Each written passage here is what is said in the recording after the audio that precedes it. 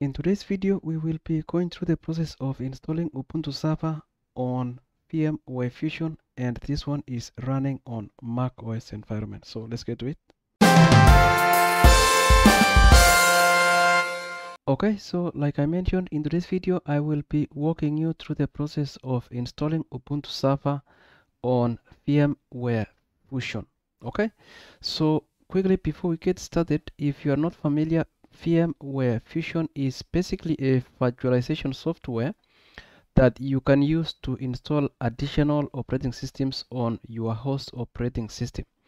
So in other words, uh, right now I'm running on macOS environment and if you wanted to install a virtual machine for Windows operating system or a, Linux operating system you can install that on top of VMware Fusion. So VMware Fusion provides you with that environment where you can install additional uh, operating systems on your existing host uh, operating system. All right.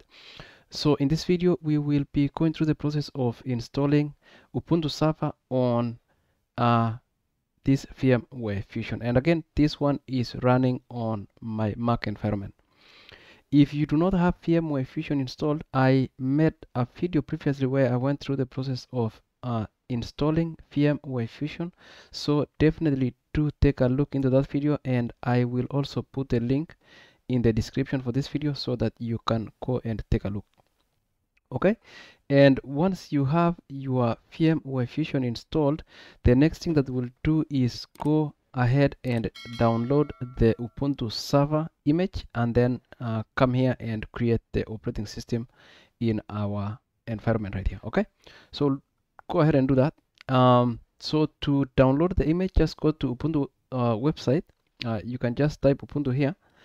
And this is the official website for Ubuntu uh, and you can open this in a new tab. And if you go to products and we want to download the server so we will go uh, to this section for server and we are going to download uh, so just hit here download Ubuntu server and right here uh, this page here this is the uh, default downloads page if you go ahead and uh, download this this by default uh, installs the image for Windows, uh, at least in my experience. So if you're running on Mac, um, that will not run for you. So we do need to install the ARM architecture or the ARM uh, version of the server, ARM that is. So we will go ahead and uh, for that you can find them here in the alternative architecture. So if you open this in a new tab,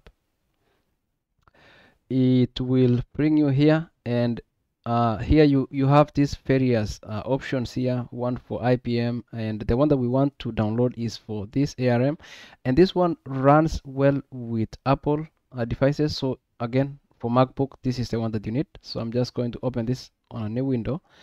And uh, this is the uh, as you can see here it says this is Ubuntu server for ARM and we will go ahead and uh, hit download here. So you can do this. Uh, if you just want to go straightforward without having to click through you can uh, type ubuntu desktop or ubuntu server uh, arm like that. And uh, you can see here that you have this ubuntu for arm and it will bring you to the same location okay?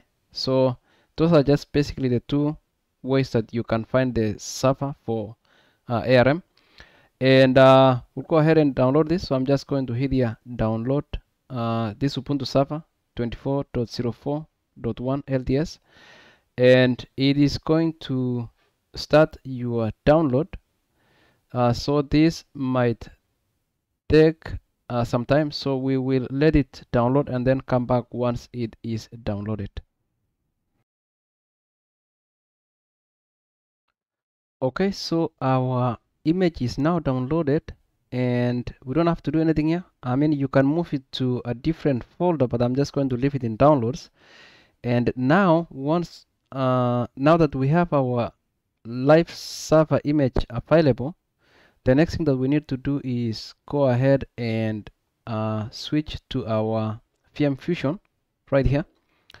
And I'm just going to make this one full screen and then from here to create a new virtual machine pointing to that um, ISO image for Ubuntu server that we just downloaded all you have to do is just hit here where it says uh, you see add button here and click new. So you do it like that. And uh, what we need to do is we can drag our so you can see drag your ISO file here to start installing. So I'm just going to actually minimize this uh, I'm going to minimize this like so.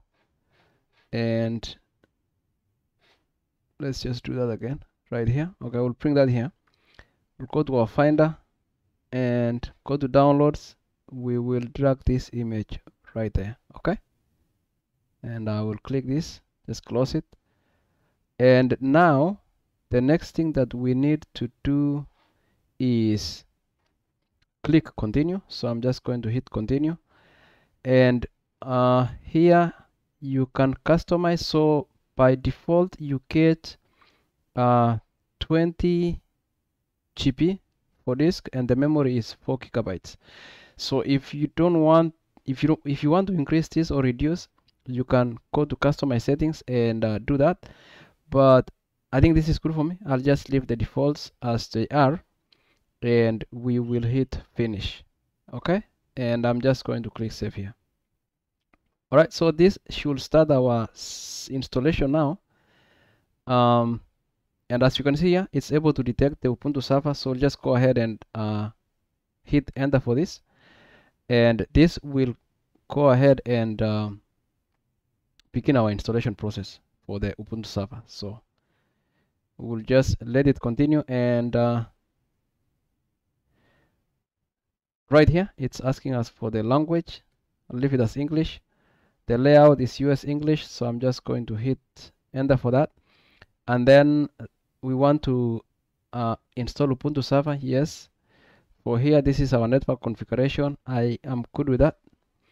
And then for the proxy server I'm just going to click enter for this and it's going to choose the mirrors that are uh, in my location. So in this case I'm in US so it's going to uh, fetch the images from my nearest location and I am just going to click done for that. So I'll click enter. Um, this is your disk space. I I'm good with it the way it is currently so I'm just going to use that disk. And for this actually we need to scroll down using the down arrow on your keyboard and we will hit done. And uh, this is your summary uh, so this is basically the summary for your configuration in your file system and I'm good with that so I will click done. And here uh, this is saying uh, selecting continue will begin the installation process so I'm good with that I will continue. And then here you can enter the name so I'm just going to enter my name here. And uh, for the server I will say this is Ubuntu 24 and for the username I will put my username and password here.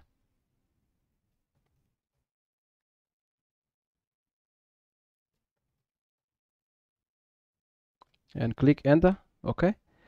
And I don't want to upgrade so I will continue. I will skip that. I also want to install open SSH server so let's do that.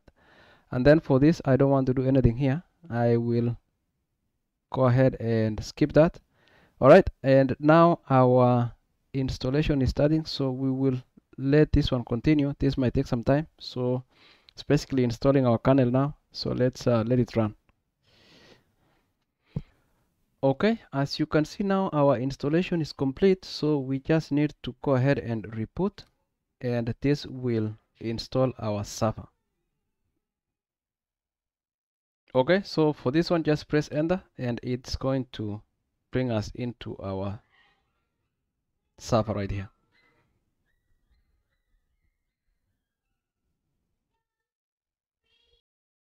Okay and right here we just need to log in. So we'll enter our username and the password.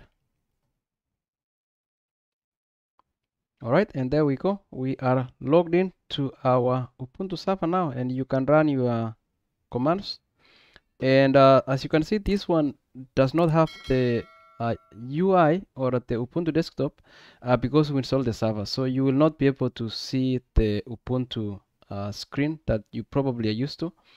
Uh, again, this is just a server. And uh, I think in the next video, I will be walking you through the process of installing the Ubuntu desktop.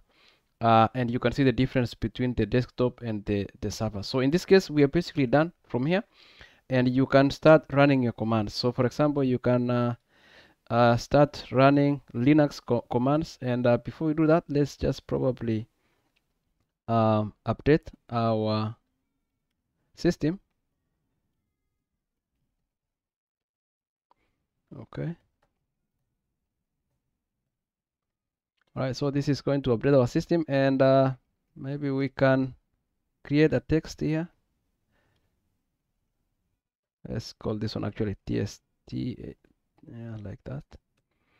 And you you can see that uh, and we can uh, write commands to it. We can actually uh, write some text to that. Hello ubuntu.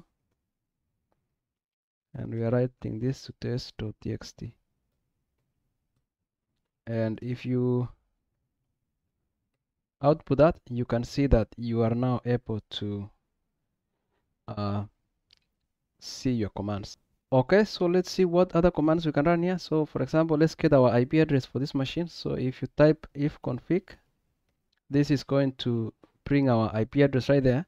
Uh, and so we can actually connect from our terminal. We can SSH from our terminal that is our Mac environment terminal to this Ubuntu server. So now that we have our IP address here we can try to do that.